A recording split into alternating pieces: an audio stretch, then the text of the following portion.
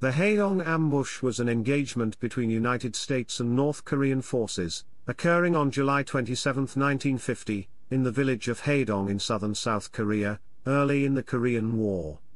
The fight ended in a North Korean victory following a successful ambush of U.S. forces which resulted in heavy American casualties. The U.S. Army's 3rd Battalion, 29th Infantry Regiment, a newly formed unit consisting mostly of inexperienced new arrivals, was ordered to move to the South Korean village of Hadong to hold the pass there against advancing forces of the North Korean Korean People's Army. Unprepared for combat, the American forces walked into an ambush in which most of the battalion's command staff was killed in the pass, leaving lower-ranking soldiers to mount a disorganized defense against North Korean troops occupying prepared positions on higher ground. For three hours the battalion fought, pinned in a crossfire by North Korean soldiers on higher ground. North Korean forces were able to divide the American force and kill most of its commanders, further disorganizing the men. Following the failed operation, the wounded U.S. commander ordered a withdrawal, which quickly became disorganized, resulting in hundreds of casualties. Destroyed after its first engagement, the 3rd Battalion, 29th Infantry Regiment was disbanded and merged with other units as the North Korean forces advanced through the pass and attacked U.S. positions to the east. Chapter 1 Background Chapter 1 Section 1 Outbreak of War Following the invasion of South Korea by North Korea, and the subsequent outbreak of the Korean War as a result, the United Nations decided to commit troops to the conflict on behalf of South Korea. The United States subsequently sent ground forces to the Korean peninsula with the goal of fighting back the North Korean invasion and to prevent South Korea from collapsing. However, U.S. forces in the Far East had been steadily decreasing since the end of World War II in 1945, and at the time the closest forces were the 24th Infantry Division of the 8th United States Army, which was headquartered in Japan. The division was under strength, and most of its equipment was antiquated due to reductions in military spending. Regardless, the 24th Infantry Division was ordered into South Korea. The 24th Infantry Division was the first U.S. unit sent into Korea with the mission to take the initial shock of North Korean advances, delaying much larger KPA units to buy time to allow follow-on forces to arrive. The division was consequently outnumbered and outgunned for several weeks as it attempted to delay the KPA, making time for the 7th Infantry Division, 25th Infantry Division, 1st Cavalry Division and other 8th Army supporting units to move into position. Republic of Korea Army forces in the meantime were systematically defeated and forced south along Korea's east coast, with entire divisions being overrun by the KPA's superior firepower and equipment. Advance elements of the 24th Infantry Division were badly defeated in the Battle of Osan on July 5, during the first battle between American and North Korean forces. For the first month after the defeat of Task Force Smith, 24th Infantry Division soldiers were repeatedly defeated and forced south by the KPA's superior numbers and equipment. The regiments of the 24th Infantry Division were systematically pushed south in battles around Chokwon, Chonan, and Pyeongtaek. The 24th Infantry Division made a final stand in the Battle of Taejon, being almost completely destroyed but delaying North Korean forces from advancing until July 20. By that time, the 8th Army's force of combat troops were roughly equal to North Korean forces attacking the region at around 70,000 for each side, with new UN units arriving every day. Chapter 1 Section 2 Replacements arrive. On July 20, 400 hastily assembled U.S. Army recruits arrived in Okinawa aboard the USS Walker. The inexperienced soldiers were assigned to the 29th Infantry Regiment, 2nd Infantry Division, a command that was preparing other battalions to move into Korea, and to relieve the other units of the 24th Infantry Division. The new formations, now consisting mostly of soldiers who had no combat experience and grouped into two battalions, were immediately sent into Pusan. The headquarters of the regiment remained behind to form a new regiment. This regiment would originally be in charge of the defense of Okinawa but would later be rushed into Korea. The two battalions landed in Pusan on July 21 and were assigned to the 19th Infantry Regiment, 24th Infantry Division, but they retained their designations as the 1st and 3rd Battalions of the 29th Infantry Regiment. Instead of being given time to train and prepare to enter the front lines, the battalions were immediately sent to the regiment's sector at Chinju. By July 22 the units were on the front lines with new equipment. The equipment, fresh from production lines, was not prepared for combat, despite promises from several commanders that the unit would be given time to do so. Chapter 2 Battle American planners believed that the Hadong area was under attack from elements of the KPA 4th Division, having just received replacements, following its victory at Taejon. However, the soldiers in the area were actually from the KPA 6th Division under the command of General Pang Ho-san. The two divisions were coordinating to envelop the UN's left flank and were extremely spread out. Therefore, only groups of a few hundred were advancing through the region, some with small numbers of tanks. Chapter 2 Section 1 Arrival Immediately after arrival, the commanding officer of the 19th Infantry Regiment, Colonel Ned D. Moore, ordered the 3rd Battalion, 29th Infantry to move out and seize the Hadong Pass, a road junction 35 miles southwest of Chinju, where about 500 North Korean soldiers were reported to be moving. 8th Army had also received reports that the KPA had been fighting South Korean police who were resisting in the village of Hadong, one mile west of the pass. The battalion commander, Lieutenant Colonel Harold W. Mott, alerted his troops, and at 030 on July 26, the battalion departed alone on its mission.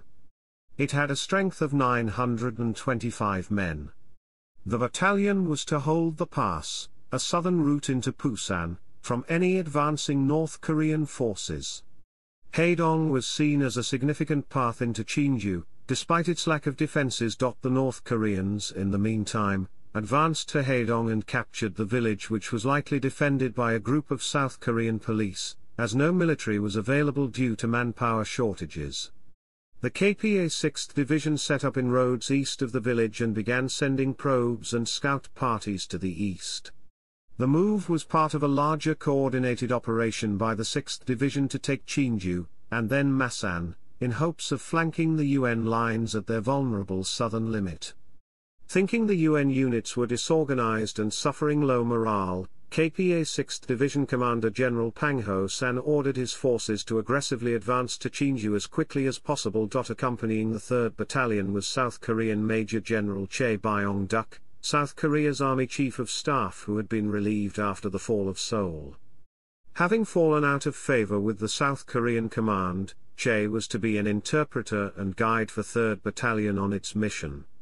He accompanied the battalion with only a few of his aides. The battalion was forced to take several detours through Konyang because of impassable roads, and it was delayed in its arrival to Hadong.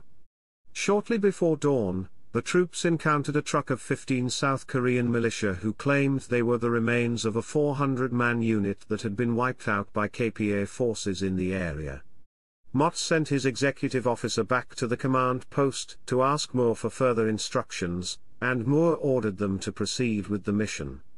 Because the battalion had no radio equipment it was forced to send a runner to relay this information, and he returned by nightfall, forcing the battalion to encamp in the village of Hongkon, three miles west of Hadong, for the night.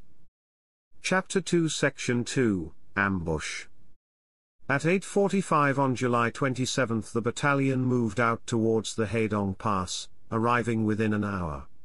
When it was within 1,000 yards of the pass, L Company at the head of the formation spotted a North Korean patrol. The company's heavy weapons were fired at the patrol, forcing it to withdraw but causing no casualties. L Company then rushed the pass and dug in at 9.30, waiting for a scheduled airstrike on the village of Hadong one mile to the west at 9.45. Behind L Company was the battalion command group, followed by K and M companies, with I Company covering the rear. The battalion's command group, including Mott, Chae and most of the senior officers, approached the pass as L Company took cover on the left side of the road. As they approached the pass, a company of KPA soldiers was spotted up the road, part of a scouting party looking to probe further east. L Company was preparing to ambush the North Koreans when they got closer, but before this could happen, Chae called out to the Koreans demanding they identify themselves. The North Koreans immediately ducked for cover in the ditches on the side of the road, and L Company opened fire on them. Immediately the American forces were hit with machine gun and mortar fire from the North Ridge, where North Korean troops had been dug in. The first burst of machine gun fire killed Chae, and wounded most of the other commanders, including Mott. Mott managed to make it to the ditch where American forces dug him a foxhole, but soon after all the Americans in his vicinity were killed or withdrew and he was left alone and unable to communicate with the rest of the battalion. The KPA had the US battalion in a crossfire on higher ground, both from the pass and from the ridge. Mortar fire knocked out many parked vehicles, including the radio jeep of a US Air Force tactical air control party which was to direct airstrikes.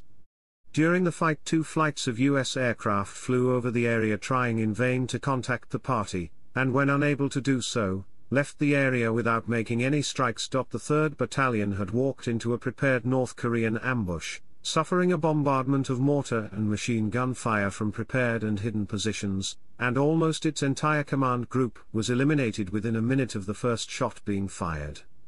L Company, at the pass, was heavily engaged with the KPA forces higher on the hill. The company's first platoon sustained a direct assault on its foxholes, with two members of the company killed by bayonets. L Company was separated from the rest of the battalion by KPA forces advancing on its position further up the ridge. K Company attempted to move up to relieve it but was unable to do so. However, the company held in place. Meanwhile, I Company began moving up the hill to provide support. KPA forces were able to cut the battalion into disorganized groups, with L Company engaging forces in the pass and I Company under attack from forces on the North Ridge behind them. By noon, the North Korean forces on the higher ground had enveloped the American forces. Chapter 2 Section 3 American Withdrawal At 12 o'clock, Mott was brought to the position of L Company Commander Captain George F. Shara. Mott ordered Shara to take command and organize a retreat. Shara ordered his three platoons to withdraw. A KPA battalion began moving down the pass towards the American positions. Men of my company were forced to withdraw through rice paddies south of the pass, being strafed by mortar and machine gun fire in the process. They also had to cross a 20-foot wide stream in the retreat, and some drowned in the process.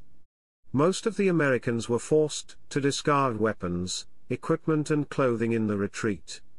Many of the men of L Company, as well as some of the wounded, were able to evacuate by truck. Survivors from 3rd Battalion disengaged from the battle in groups.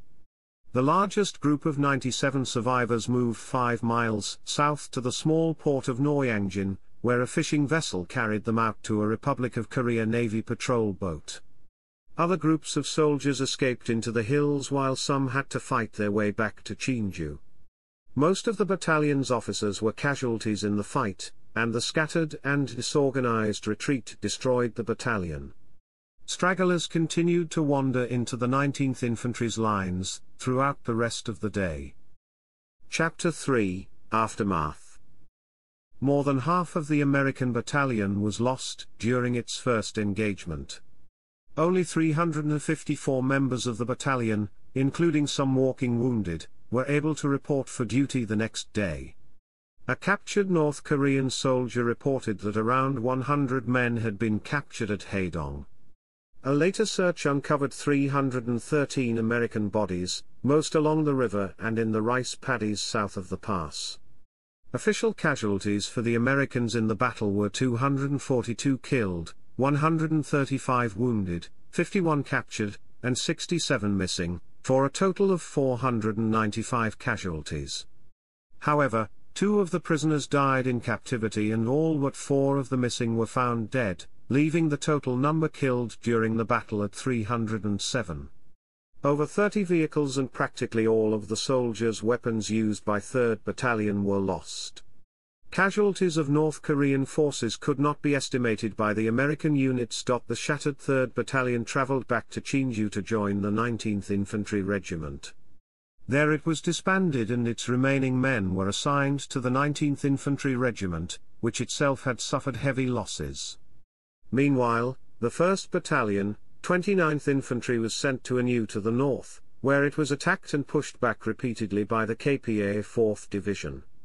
On July 31, the KPA 6th Division struck Chinju, pushing back the 19th Infantry Regiment, and the 3rd Battalion, 29th Infantry, forcing them to withdraw east. This left the southern entries to Pusan open, but the KPA 6th Division was unable to exploit it due to its extended supply line. The 6th Division eventually advanced further east, attempting to capture the city of Masan, but newly reorganized troops of the U.S. Army repulsed them and inflicted heavy casualties on them less than a week later during the Battle of the Notch. Chapter 3 Section 1 Sources